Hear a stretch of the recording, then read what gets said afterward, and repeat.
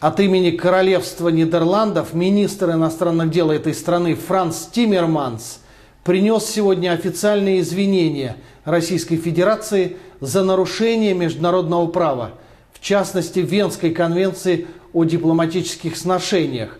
В связи с задержанием голландской полиции советника-посланника посольства России в Гаге Дмитрия Бородина – об этом министр заявил сегодня послу нашей страны в Голландии Роману Колодкину. Франц Тиммерман сказал, что их результаты расследования инцидента будут представлены российской стороне дополнительно.